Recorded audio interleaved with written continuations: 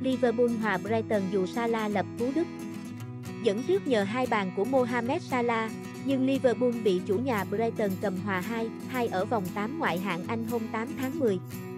Salah tiếp tục cho thấy cái duyên khi đối đầu với Brighton, khi trực tiếp tham gia vào 14 bàn sau 13 trận gặp đối thủ này ở ngoại hạng Anh. Cú đúp của ngôi sao Ai Cập trong hiệp 1 giúp Liverpool tiến gần với chiến thắng, nhưng hàng thủ đội khách không bảo vệ được thành quả trong hiệp 2.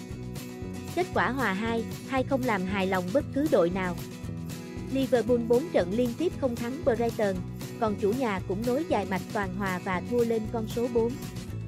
Liverpool làm khách trên sân Amex với hy vọng cải thiện thứ bậc ở top đầu, trong vòng đấu mà Arsenal và Man City đối đầu trực tiếp. Dẫu vậy, tham vọng của thầy trò Jurgen Klopp sớm bị dội gáo nước lạnh khi Alexis Mac Alister mắc sai lầm trong ngày gặp lại đội bóng cũ.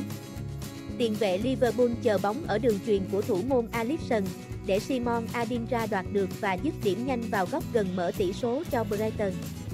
Thi đấu bết bát ở những trận gần đây nhưng cứ gặp Liverpool là Brighton lại thăng hoa. Sự hưng phấn sau bàn dẫn trước giúp họ tạo ra thêm nhiều cơ hội trong hiệp 1, nhưng đều bỏ lỡ. Trong số những người hỏng ăn, cầu thủ tuổi tinh lần đầu đá chính ở ngoại hạng Anh, Carlos Baleba là cái tên nổi bật. Không phải ngẫu nhiên mà Brighton thủng lưới tới 20 bàn trên mọi mặt trận mùa này trước khi đấu Liverpool. Hàng thủ vốn đã lỏng lẻo của chủ nhà mắc hai sai lầm liên tiếp ở cuối hiệp, khiến thế dẫn bàn đảo chiều. Phút 40, Luis Dung truyền xuyên tuyến không đúng địa chỉ, để đội khách cướp được bóng và tổ chức phản công nhanh. Darwin Nunes có kiến tạo thứ năm từ khi đến ngoại hạng Anh, đều cho Salah. Góp công không nhỏ trong bàn gỡ 1, một của Liverpool là Harvey Elliott, với pha nhất chân bỏ bóng tinh tế đặt đàn Anh Ai Cập vào thế trống trải.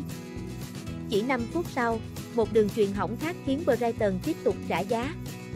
Thủ thành 22 tuổi Bác Verbergen quá tự tin và mất tập trung, truyền khó cho Pascal Rốt trong cấm địa. Tiền vệ Brighton để mất bóng và buộc phải phạm lỗi với Sjobolia. Từ quả phạt đền, Salah ghi bàn thứ 8 vào lưới Brighton ở ngoại hạng Anh. Cùng với Man UTD, đây là đối thủ ưa thích của Salah tại giải, khi anh góp dấu giày vào 14 bàn của Liverpool khi gặp những đối thủ này. Đội khách có rất nhiều cơ hội để định đoạt trận đấu trong hiệp 2, nhưng phung phí. Đáng trách nhất là cầu thủ vào thay người Ryan Gravenberg, với pha đệm bóng trúng xà từ khoảng cách gần trong thế không ai kèm. Để rồi đến phút 78, Liverpool bị gỡ hòa khi Louis Dung sửa sai bằng pha đệm bóng thành bàn từ quả phạt của Solimac. Thầy trò Klopp thậm chí suýt thua ngược khi Hao Pedro đệm bóng vọt xà trong cấm địa ở cuối trận. Chiến lược gia Đức hòa 2, thua 2 trong 4 lần đối đầu với đồng nghiệp Roberto De Đây là huấn luyện viên đầu tiên ở ngoại hạng Anh mà Klopp không thể đánh bại ở 4 lần chạm trán đầu tiên trên mọi đấu trường. Liverpool lỡ cơ hội vào top 3 với trận hòa 2-2. Họ tạm xếp thứ tư với 17 điểm, kém đỉnh bảng Tottenham và Arsenal 3 điểm, kém Man City 1 điểm. Brighton đứng thứ 6 với 16 điểm. Vòng tới, Liverpool trở về sân nhà tiếp Everton còn Brighton phải làm khách trên sân Man City. Đội hình thi đấu Brighton, Verbergen, Venman, Dun, Julio, H63, Ross, Mark, Mitoma, Baleba, Pedro, Fati 89, Ferguson, Welbeck 60, Adingra.